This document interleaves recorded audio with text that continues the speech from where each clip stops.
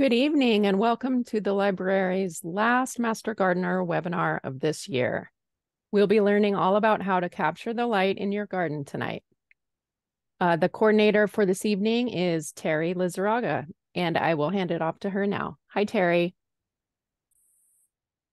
Hi there. Thank you. Welcome, everyone, and thanks for attending tonight. It's a great way to spend a Tuesday evening.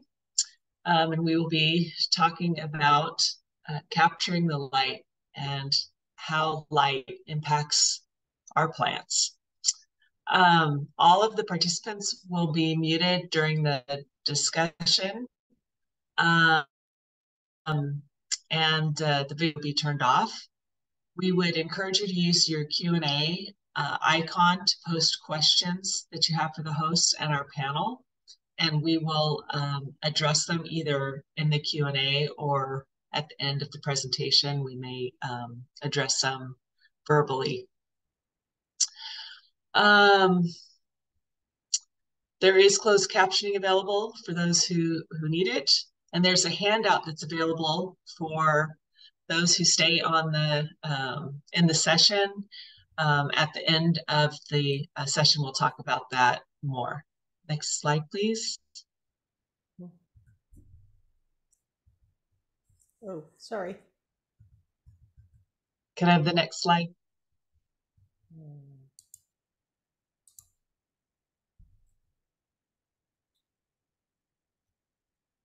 There we go.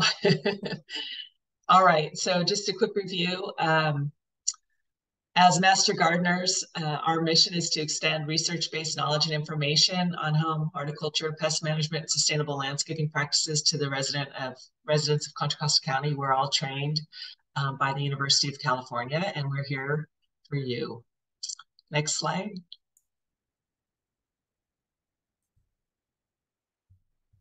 And what I'd like to do now is introduce um, Monika, who's our speaker tonight, Monika Witte. She's a retired engineer from Lawrence Livermore Lab uh, Laboratory. Um, she became a master gardener in 2017. And since she became a garden, she spends time volunteering at our uh, garden, which is the demonstration garden that um, we have in Walnut Creek. And she's very active in the growing gardener program, which is program we have to um, train um, residents about uh, some gardening basics. At home, she enjoy, enjoys uh, growing edibles and uh, California natives and plants that um, are suited to our Mediterranean climate.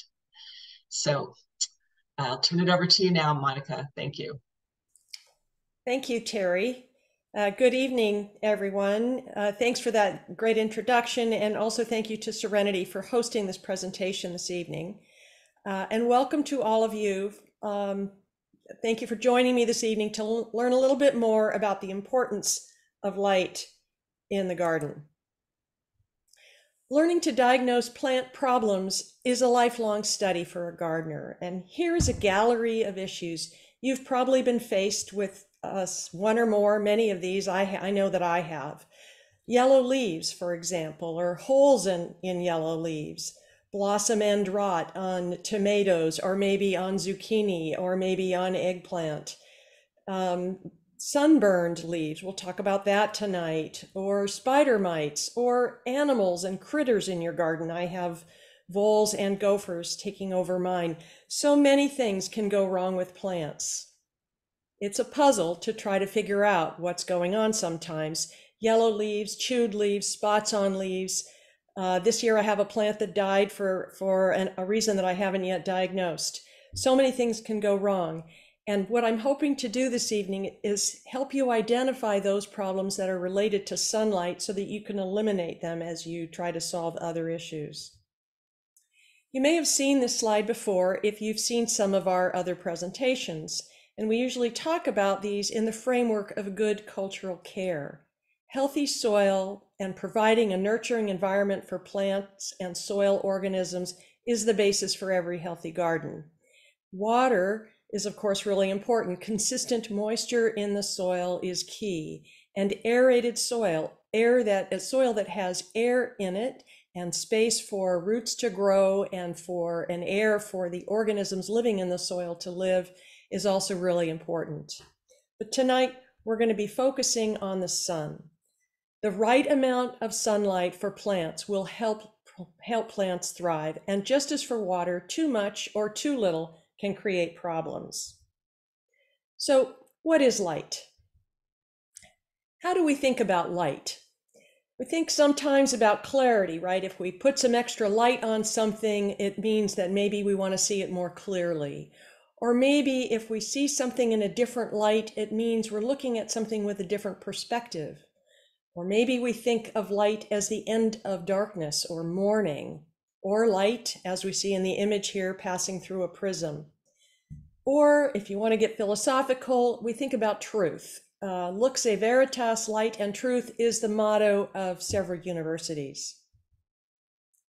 But what is it in the context of this presentation? I'm going to talk about solar radiation. It's the radiation emitted by the sun.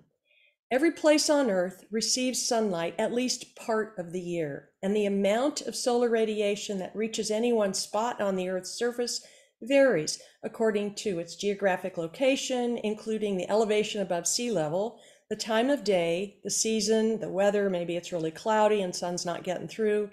And when the sun's rays are vertical, the sun is directly overhead, the Earth's surface gets all the energy possible from the sun. Solar radiation reaches the Earth as a spectrum, a range of types of radiation and wavelengths. So it's a spectrum of light, gamma and X rays on one side, and radio waves on the other. And what you see here is a cartoon. But if you imagine these light as a squiggly line, as these little squiggly lines, as the squiggles get smaller, as you move in this direction, the wavelengths get shorter and the energy gets higher.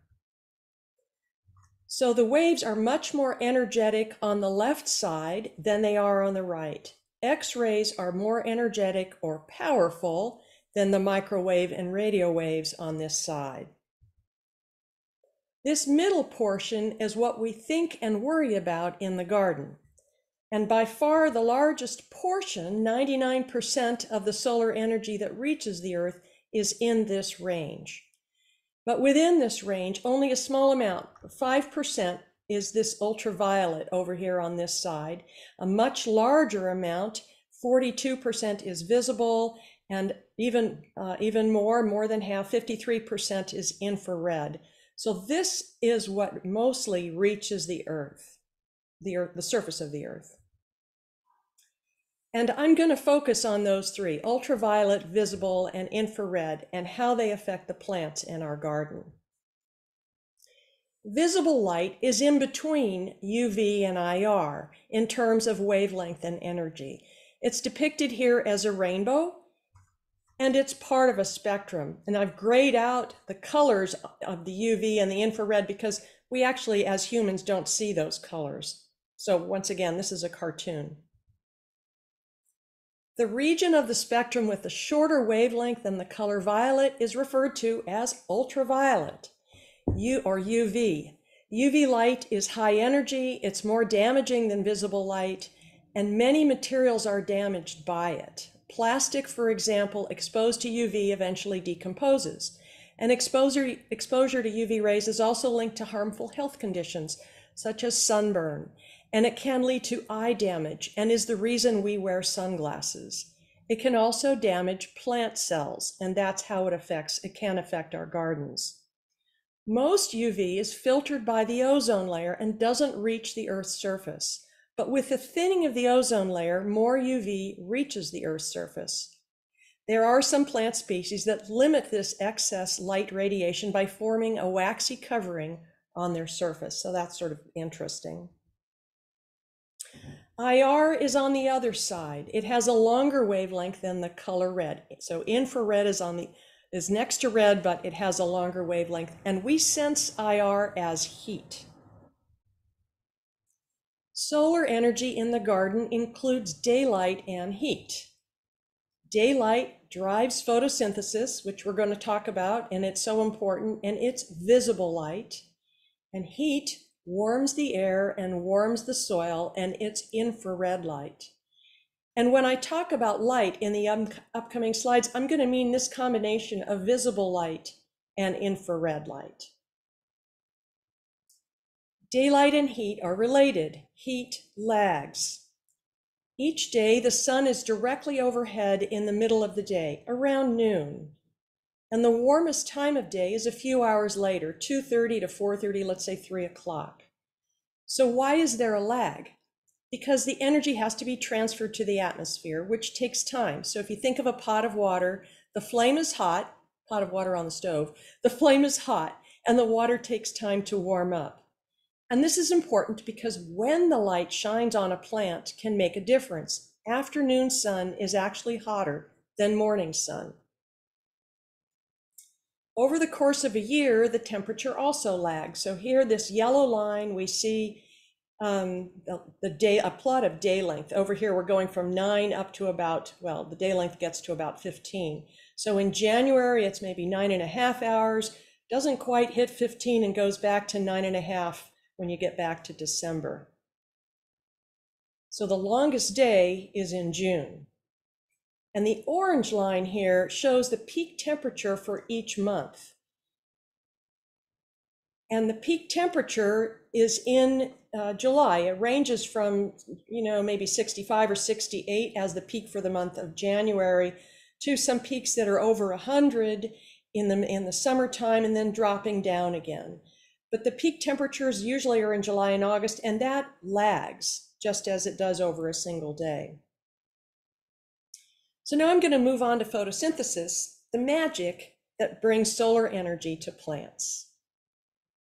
Visible light provides the energy for photosynthesis, and it's mostly red and blue light, visible light, that drive photosynthesis.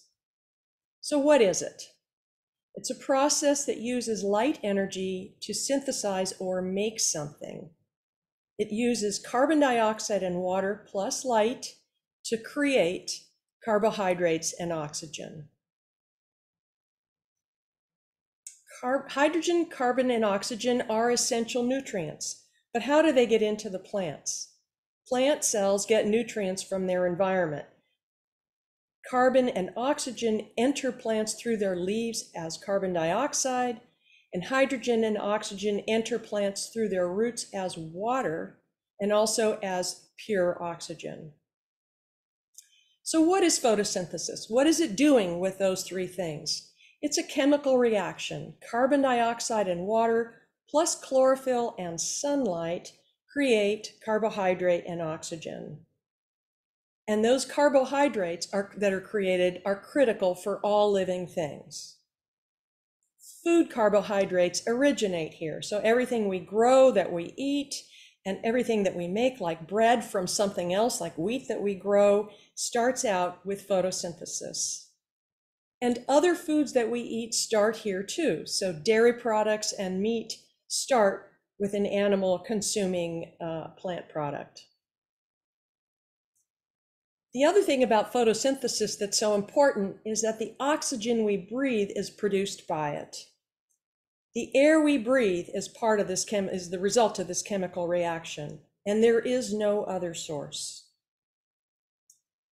I say that, but then I think it's important to mention that about half of the Earth's oxygen comes from the ocean. The majority of this comes from plankton, drifting plants, algae, and some bacteria that can photosynthesize.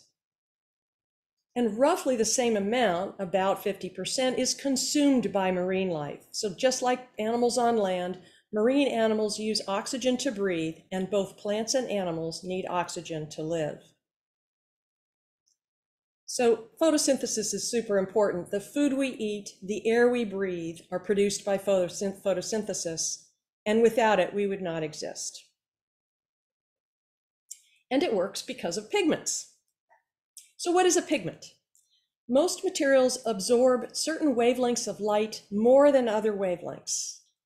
And if a material absorbs all wavelengths except for green, for example, then the green color bounces off and the substance appears green to us. So just in look at this image, the sunlight is shining down here on the leaf. Just as an example, the red and the blue uh, wavelengths of light are being absorbed by this leaf and the green leaf is bouncing off. In this case, this is a green pigment. Chlorophyll is a green pigment. Plants have different shades of green because of different amounts of chlorophyll in their leaves. Young leaves have a lighter shade of green than mature and old leaves. And as the leaves mature, they become darker green. The amount of chlorophyll pigment creates different tolerances for sun and shade. And deep green leaves contain more chlorophyll. Plants that grow in shade, like those in forests, contain more chlorophyll and are better adapted to growing in shady spots. On the other hand, white areas of variegated leaves, like the edges on these little tiny leaves, do not contain chlorophyll and they don't perform photosynthesis. So that plant is slower growing. It needs a sunny spot to get the most out of the light that it, it receives. So you might be wondering if you have a variegated plant, sometimes they revert to all green. And if that happens, it might be a sign that the light levels are too low. So there are other pigments in leaves. Why do leaves turn red? Well, Carotenoid pigments are always present in leaves, and they're usually masked by the abundant chlorophyll that's, that's there, but they produce the bright yellow, red, and orange colors in plants, vegetables, and fruits.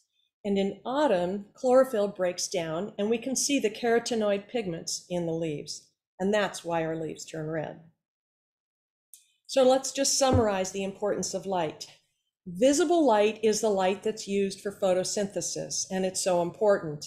IR is for air and soil temperature, infrared is for air and soil temperature, and ultraviolet is damaging light. And photosynthesis is critical for life. Chlorophyll is a pigment. So I'm going to move on to talking about diagnosing problems now, and this can be tricky, tricky and frustrating. So, as I already mentioned, you saw this slide at the beginning, you might be con- confronted with many issues. And diagnosing those issues usually can be a puzzle. And it, it's easier if you look at them as being possibly from a single source or a combination of problems. And the problems might fall into a couple of buckets the environment, which includes soil and light and temperature, and care, which can be related to what condition the plant was in when it was uh, planted. So when you picked it up from the nursery, was it root bound? Was it kind of dried out? What was how healthy was it when you picked it up? And then how was it planted and was it, what has been done to it since? And what about critters that are in the in the garden? Insects and mites and other animal pests, they can cause problems. And also infectious diseases, fungi, viruses, and bacteria. And we're going to be talking about light in particular, of course, tonight. So both too little or too much can cause problems. Let's start with too little. When there's not enough light for photosynthesis, the plant will gradually use up its reserve carbohydrates and starve. And adding fertilizer won't help if the problem is related to sunlight. So, why do uh, too little light can result in yellow leaves? Why do leaves turn yellow? Well, it could be overwatering. Mature leaves turn brownish yellow and wilt. Could be underwatering. The newest, youngest leaves are yellow and they might wilt. Could be cold, yellow, which might produce yellow leaves or burned edges, or nutrient deficiencies, especially from iron and nitrogen, or too much fertilizer, or diseases and pests, which might produce yellow or other spots. Or it could be sunlight, too little which gives you yellow leaves on the bottom or the inside of the plants, or, or also pale green leaves, or too much sunlight can also cause uh, yellow leaves and burning in spots. So you might be thinking, okay, so many things can cause yellow leaves. How do I figure it out? It's a puzzle. It's not going to be easy, but part of the fun and challenge of being a gardener.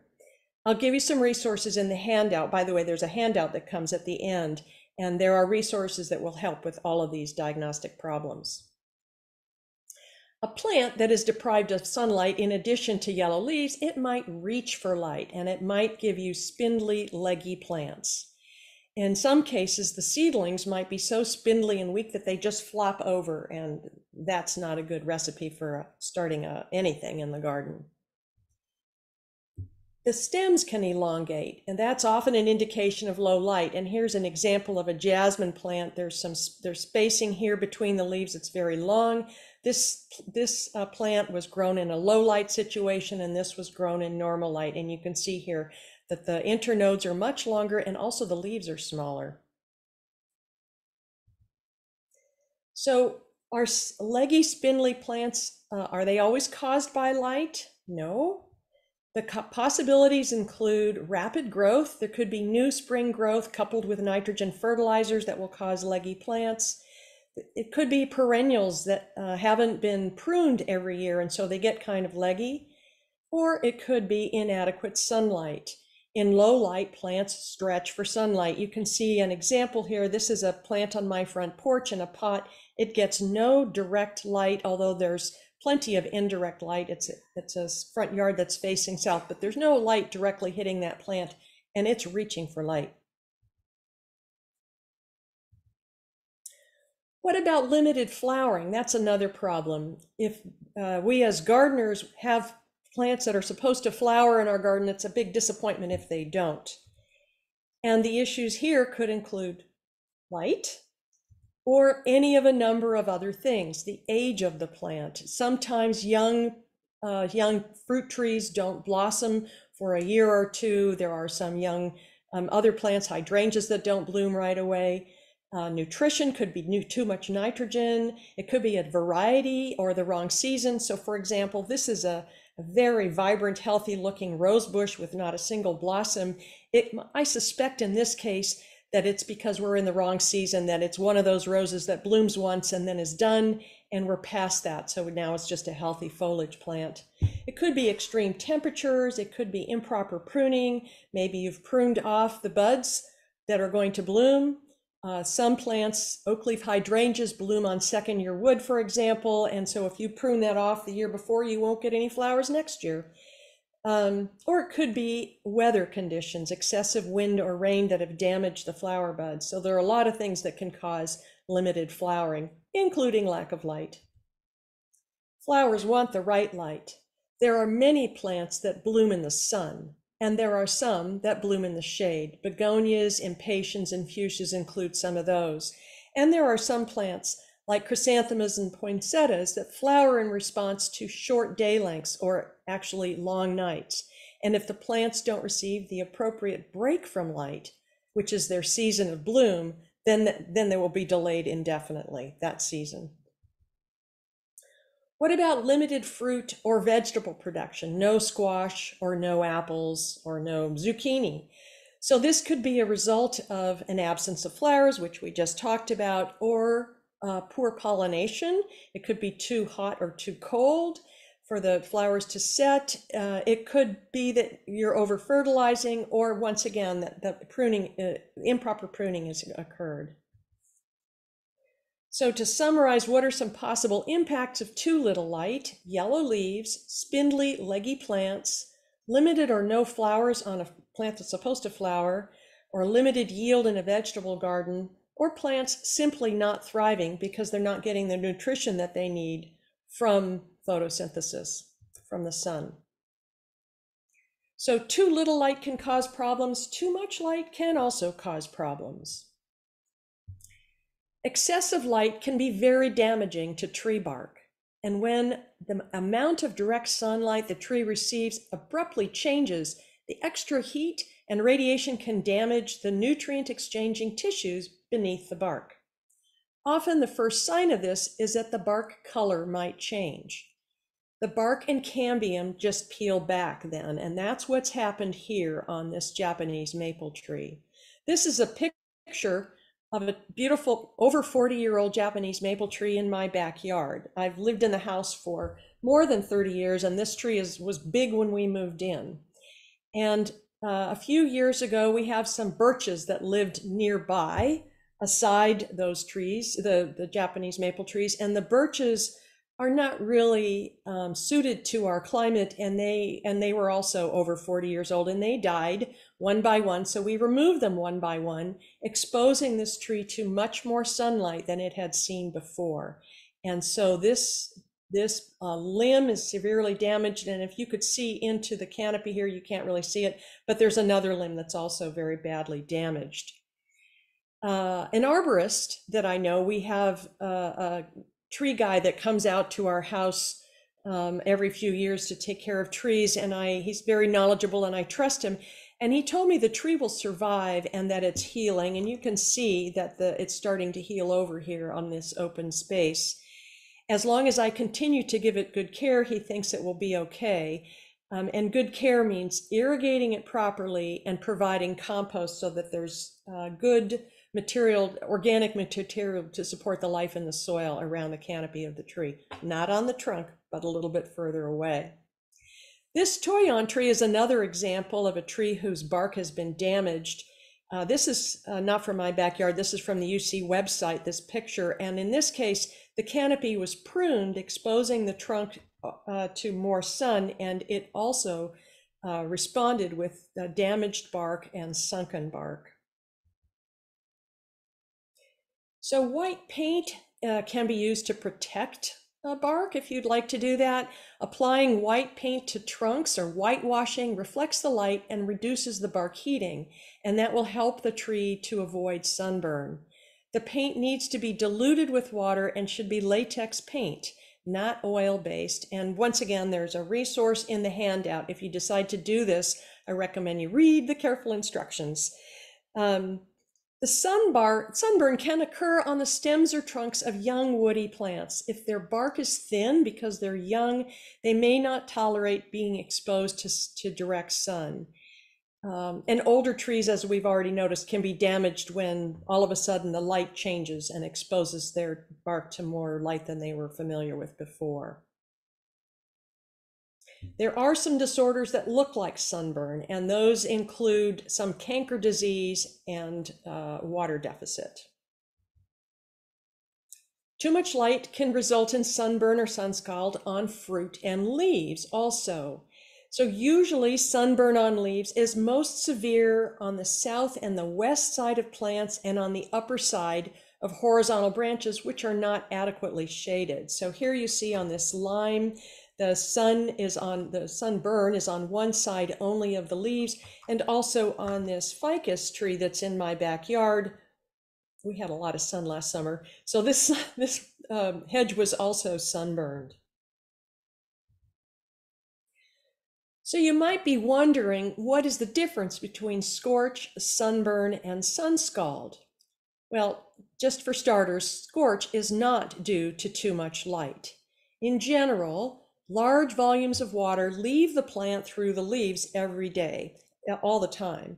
And if after the water leaves, the plant is not able to replenish that because there's something wrong with it, the tissues have been damaged for some reason, then scorch occurs. And that, that happens because the water isn't able to then flow into the damaged tissue. So leaf scorch is caused by an environmental factor, including maybe a salt, or a mineral toxicity in the soil, too much salt could be too much fertilizer, uh, and, or something that's damaging the leaf tissues. In this example, the oak leaves have scorched margins because of an oak gall wasp feeding on the leaf undersides. And over here, you can see leaf scorch occurring along the outside edges of the leaves, which is where leaf scorch occurs initially. So I want to just emphasize leaf scorch is about water movement and less about sunlight exposure, whereas sunburn and sunscald are caused by high temperatures combined with intense solar radiation. Sometimes you may want to provide shade, uh, especially for new landscape plants. They can benefit from sun protection. So here we see a handful of tomato cages that are covered, draped with a cloth and then clipped on just to protect uh, the plant from the sun. It could be cloth, it could be shade cloth, but just don't use a plastic sheet, which will trap the moisture and maybe even magnify the light. The other thing you can do is put a small rock on the southwest side of a plant, and that'll provide a little bit of shade for that plant and a cool, moist area for roots. Managing shade can also be useful in a veggie garden. Even heat-loving plants like tomatoes and peppers might need extra care during a heat wave. And seedlings of fall crops Broccoli, Brussels sprouts, cabbage, and cauliflower are also susceptible to heat because we plant them at the end of summer and early fall when there's still quite a bit of heat and uh, intense sunlight. And there are plants that you will benefit from the shade from a neighbor plant. So uh, plants that are a little more tender, basil, lettuces, and cilantro, if you plant them in the shade of a taller vegetable, a pole bean, for example, or a tomato plant, then those plants will benefit from the shade that the others provide, and that will keep them, help them thrive. So here's some ideas from master gardeners. These are some master gardener uh, gardens and what they've done providing shade in their own vegetable garden. So this is a cabbage, this is a series of cabbage plants that has a, a nice little structure erected over it to keep them shaded. Uh, I think that um, the master gardener whose garden this is said that these were planted in the spring, and so they're heading into summer, and she wanted to protect them from the hot sun. Uh, and here is a hoop house with some shade cloth on it over some Swiss chard. And here's a very simple shade structure that's rigged up to protect these little tomatoes from too much sun. And you can also see in every example here that the gardeners have protected the soil from sun with straw, a straw mulch to keep the soil a little bit cooler. So what have we learned about too much or too little light? Well, plant issues usually fall within a couple of buckets, environment, care, animal pests, and diseases, and light is included in the environment portion of that. And that the damage or stress could be a result of a single issue or a combination of problems and understanding how light affects plants will help with diagnosing plant issues. And if the problem is related to light, what can you do? Well, uh, for existing plants, if possible, move the plant or move the shade. Now that sounds kind of silly, but really that's that's what it comes down to. If the plant is small enough and you're able to transplant it, then do that if it's in the wrong location. If you're able to erect some kind of a shade structure or plant something taller next to it that will then provide some shade, then do that. But if you're starting with a new plant, learn about the light requirements and plant accordingly. Right plant, right place. Many, you've heard this probably a million times, but many factors will contribute to whether or not a plant will thrive including is the zone the right zone for the climate? And what about the soil? If the plant is uh, a desert plant and then it wants to be in some kind of sandy soil, not really very dense clay soil. So provide the soil that that plant wants, make sure that the uh, drainage is good and that there's life in the soil that uh, in order to provide the nutrients that the plant will need. Also, make sure that the plant is, is intended to get the amount of precipitation or irrigation that you're able to provide. We live in a Mediterranean climate where there really isn't any moisture most of the summer. And so it's an, a good idea to plant plants that are suited to that kind of a climate where there's no moisture for a good part of the summer. And also, of course, think about the sunlight, the hours of sunlight that are required for the plants that you want to put in. So what does that mean? If, if it says full sun on the label, that means six or more hours of direct sun per day. And in nature, that would be a meadow or a prairie. And full sun in Brentwood is hotter than it is in Richmond. In Richmond, there's more moisture, there's a sea breeze, the air is cooler. So even with more hours of sunlight, it's going to be a cooler uh, situation for the, for the plant. Shade uh, is a little bit more complicated than full sun. So light shade uh, usually means between three and five hours of direct sun in the summer. And partial shade means two hours of direct sun. And full shade means less than one hour each day. And dense shade means there's no direct sunlight and very little indirect sunlight. So you need to assess the assess the need for light, the plant's requirements, look at the labels and know that they're not the full story. Plant tags are most likely not made for the specific region in which the plant was sold. In our Contra Costa County, full sun, as I already mentioned, in Brentwood is a more intense situation than full sun in Richmond. And there are growers who try to help. There's a local grower who puts this label on their plants uh, sun, if it's sold in Richmond, if it's planted in, in uh, West County, and part sun if it's in a hotter part of the county. So use a variety of sources to collect the information on what that plant requires. So for example, maybe you're interested in Salvia microphylla heat wave blaze. This is a great plant and it withstands our hot summers here in Central County. So there are some local nurseries where the label says full sun, partial shade, and another uh, where it says sun and another where it says sun part shade and another full sun. So you can see the this variety, these are, are similar, but they're not the same. And it behooves you to study what that plant might need and how it might best fit in your own garden. There are plants that can tolerate a lot more sun if it's morning sun as opposed to hot, scorching afternoon sun. So for vegetables, light needs vary. Um, plants that we grow for their fruits, fruits, excuse me, need uh, six to 10, closer on the 10 side usually of sun every day. Plants that we grow for their roots or flowers need four to six. Uh, plants that we grow for their leaves need even less, maybe two to four. And there really aren't vegetables that we grow in the shade. And what happens if light requirements are not met? Well, the plant's going to be stressed. It'll be susceptible to pests and disease. It might look okay for a year or two, but eventually it won't be able to fight off the problems and it will fail to thrive. And even if it does survive, it will never look as good as it would if it were in the correct environment. Morning sun versus afternoon sun, as I've said a couple times, is different. Morning sun is safer and cooler than afternoon sun. Why? Because as we've said, both the air and the soil surface heat up as the day progresses. The hot sun and high temperatures can be really tough on a garden, causing plants and gardens to wilt.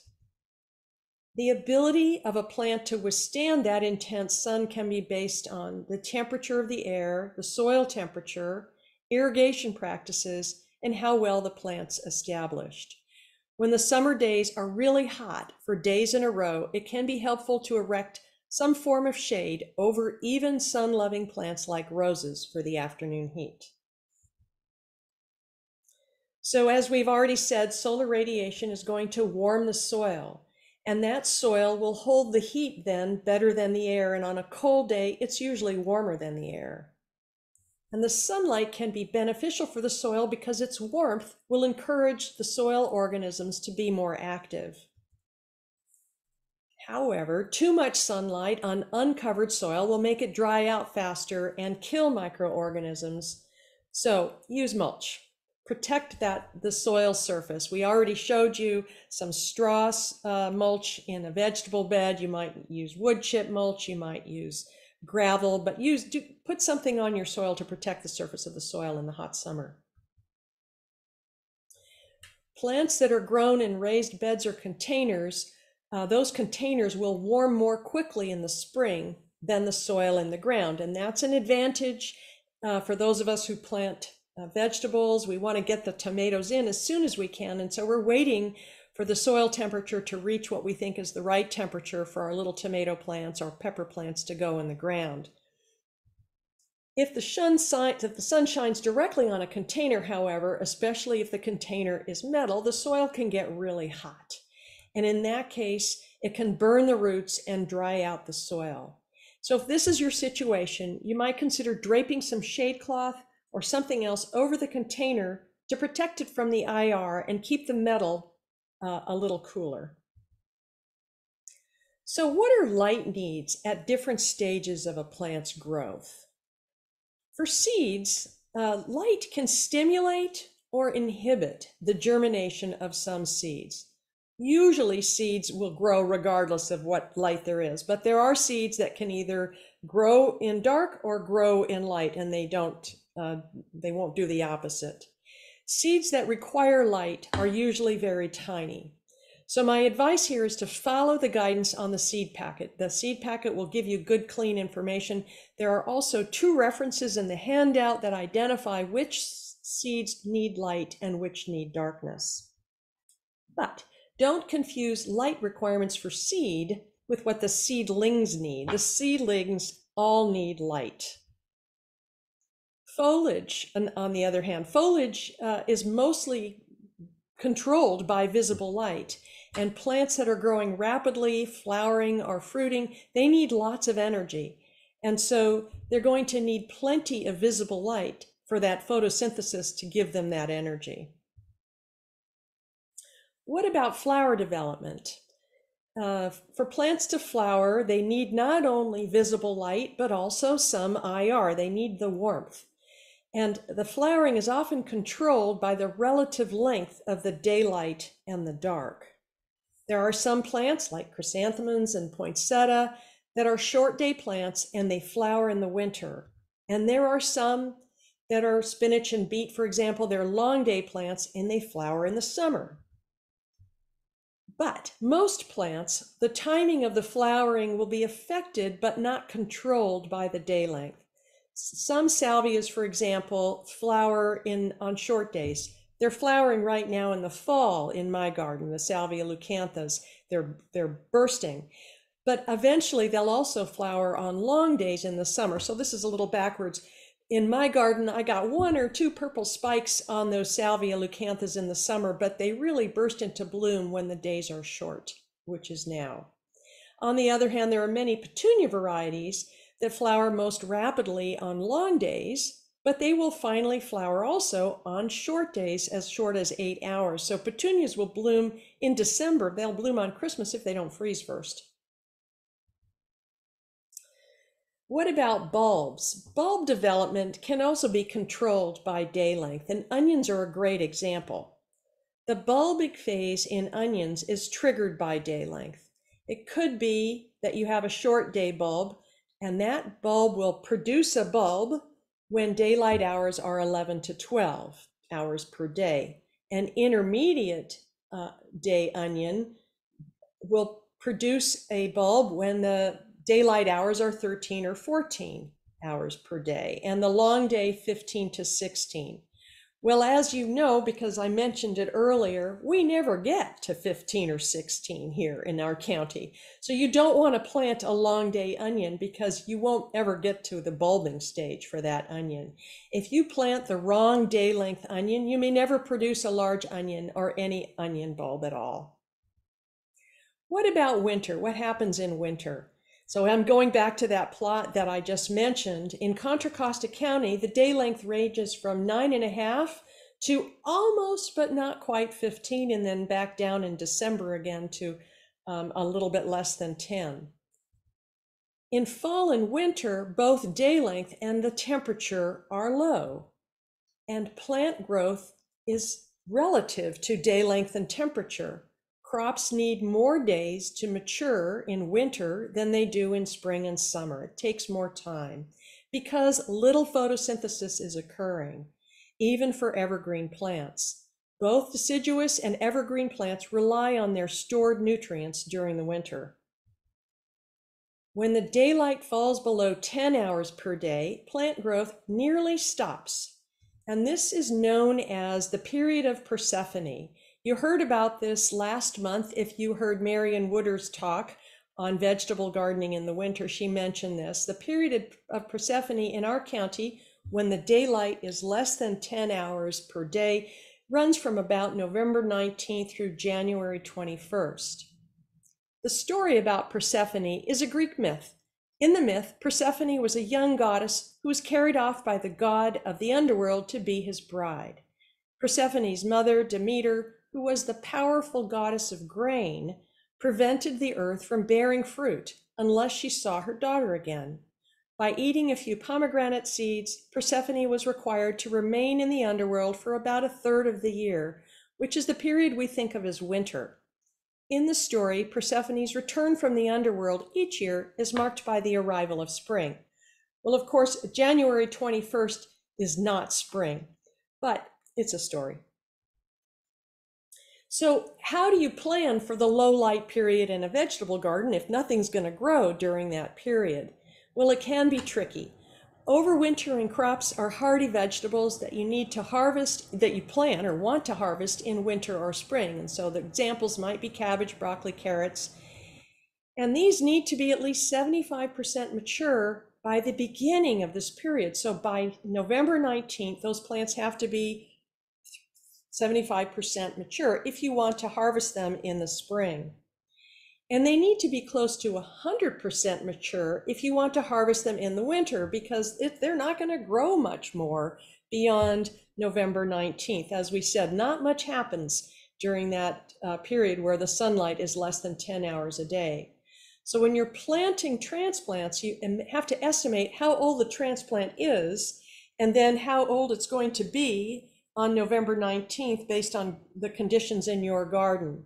And that's tricky uh, I volunteer at the demonstration garden in Walnut Creek called Our Garden, and our garden manager, Janet, plans very carefully to be able to harvest through the winter. There's a good resource in the handout that explains in detail how to do this, and I think the title of the resource is something like Planning for the Period of Persephone. So you might be wondering, what about cloudy days? Well, as you can imagine, cloudy days, sunlight is diffused and photosynthesis is reduced.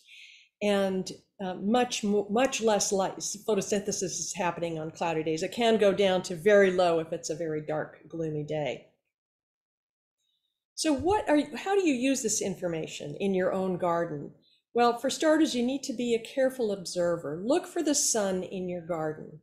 Here's a home in Concord, a sketch of a of an imaginary home in Concord. Um, this, the front yard of this home is facing south. This is the street out here. The backyard is facing north. So um, this fence line here, this fence faces the south side, right? So this vegetable bed is on the south side of this fence. We're going to look at a couple of pictures of this um, as on the next slide here and try to figure out where's the best place for that vegetable bed or anything else that might need full sun in this garden. So this image on the left is in the summer and it's in the morning. And the image on the right is in the fall and it's in the afternoon. So in the summer, in the morning, the shadows are short. Uh, the, the, our vegetable bed is in full sun. And in the fall, the shadows are much longer and our vegetable bed is in the shade. And if I were going to make one suggestion to this homeowner, I would say move this vegetable bed a little bit over more to the right, where, you know, you can see here that it's still going to get full sun if it's slid, slid over a little bit to the right, and it might avoid the afternoon shade that's coming from these tall trees. So notice that these trees are the neighbor's trees. You can't always control what's going on in your own garden. That could be it could be your trees, could be the neighbor's trees, but they're going to give you the shade, or uh, once they're removed, they'll give you more sun. So be an observer. Draw a simple sketch of your own garden. Write down where the sun is. Do this for different times of the day and in different seasons and know that the angle of the sun is going to affect the results. The northern exposures will become shadier in winter, and southern exposures will have more sun in summer. And that light might change, just as it did in my yard. So young trees and bushes will grow and might produce a lot more shade in your garden, or they might be removed. And all of a sudden you have a lot more light than you perhaps wanted on a shady area.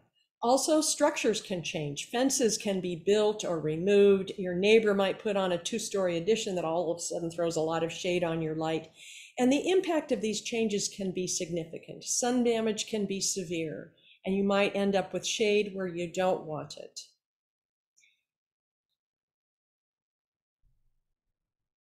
So use what you know about the sun to guide your garden planning. Vegetable beds need full sun. Southern exposures heat up earlier in the spring. Good spot for warm season vegetables is on a southern exposure, as it was, remember, for that vegetable bed in our little uh, garden sketch. Shade loving plants are best planted on the north and east side of structures. And a north facing wall or slope will receive limited sun in winter and nearly full sun in summer.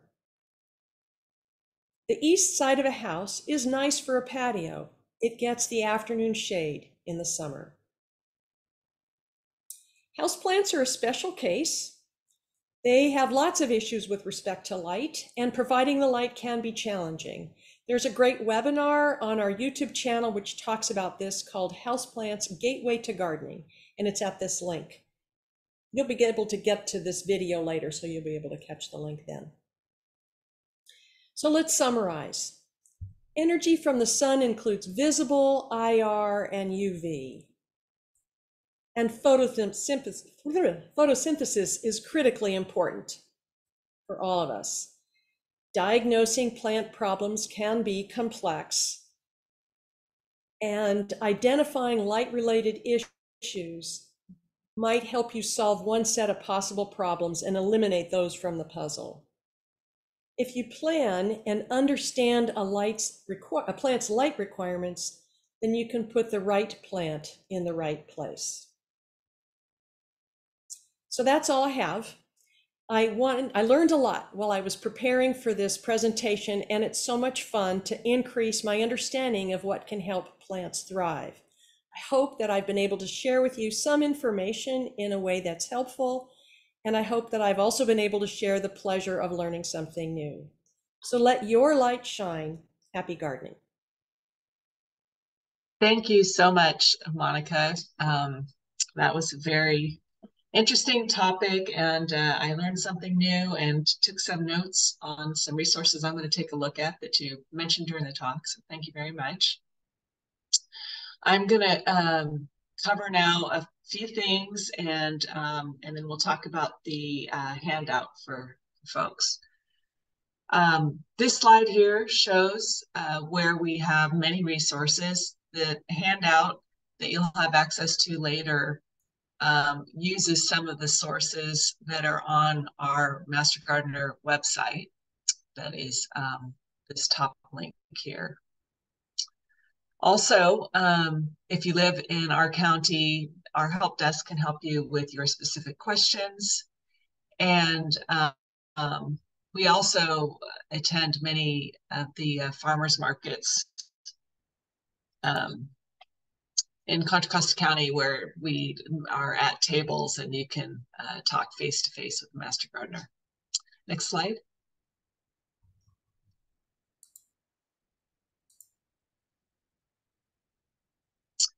So our 2023 webinar is, is uh, officially completed as of tonight. And we will be coming out with uh, a new lineup for 2024, so stay tuned. You can also revisit presentations we've delivered before at our YouTube channel. Next slide. All right, so on the next slide, um, there will be a link to our follow-up survey, and our follow-up survey is important to us because it helps, um, it provides feedback to us so we can continue to improve and um, provide quality programs. Next slide. And here it is. Um, so when you click on this QR code, it will um, take you to a survey. And when you answer the respond to the survey, you will receive a handout within the next uh, several weeks with all of the resources um, that will help you on this topic. And I believe that's it. Is that the last slide, Monika? Oh no, the next slide is Q&A, I believe. Yeah, Q&A. Okay, and as far as the Q&A goes, I'm just taking a quick look at um, questions. Um,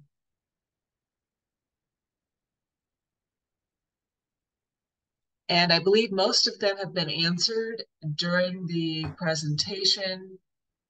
I am just scanning this. Um, there's a couple that are still in um, in process. Um, so I think I just need to let those play out. Um, is there anything else you would like to add, uh, Monika? Um, is there anything I would like to add? Uh, no. Uh, okay. Yep, you've you've uh you've been talking enough tonight. I was just trying to buy a little bit of time while I was um, waiting for these questions to be answered. Um, there was one question on on on indoor light, which really wasn't the the topic tonight. You did have that uh, reference to the resource that we have. And I'm not an everything else is indoor plant answered. expert, but there are people who are, and there's Yeah. lots of information about what kind of grow lights to best use for different kinds of lights. That information is is available. There's a great deal of it, and so I recommend you go to that that other uh, webinar to catch that. Okay. All right, well, I believe that is a wrap then. Um, so thank you very much for attending tonight.